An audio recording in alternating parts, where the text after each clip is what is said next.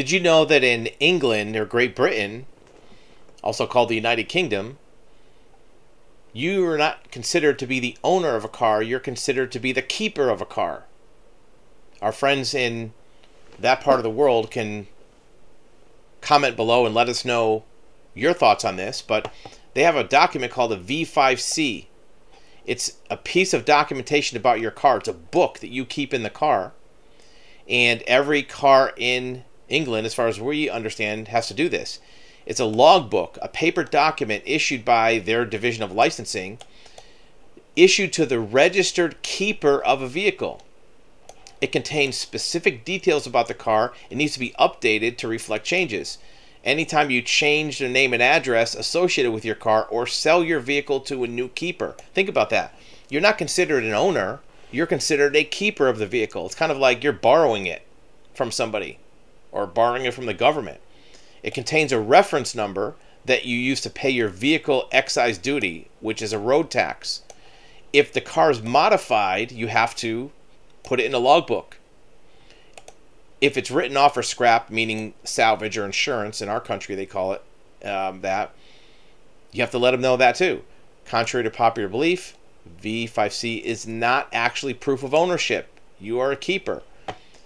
Insurance certificates are digital, but you have to have a paper form of this logbook.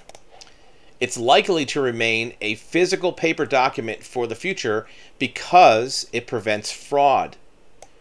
So, this is different than how we do it in the United States. You're considered an owner, registered owner, titled owner. In this country, you're considered a keeper. Is this something that could happen here? We've talked before about the changes in vehicle ownerships. There are some electric vehicle manufacturers that are talking about not selling vehicles but leasing batteries to vehicles with the idea that it's cheaper but you're not going to own anything. How does this work in England? Well, if you're selling a car, you have to find that V5C to give to a potential buyer when you do a deal and you have to keep it in a safe place. Once you've agreed on a deal to sell your car, you have to inform DL, DVLA that the owner of the vehicle has changed. And you have to put it in the book.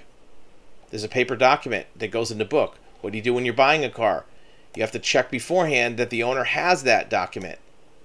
Because if they need to get a replacement, they have to do that before they sell it. The taxes also follow the car, meaning that you need to check if the taxes are paid so that if you don't take ownership, you don't have any remaining road tax when you purchase the car. This already happens in a couple of states in the United States.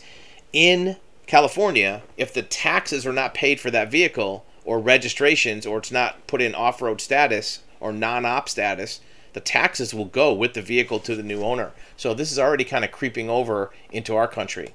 The document, of course, also contains information about emissions, which may be important if you live in an area that has to have low emissions, and charges a fee for vehicles that don't meet the standards. The car status is also recorded, so if you're buying a classic car, make sure it qualifies. You have to have it listed as a historic vehicle.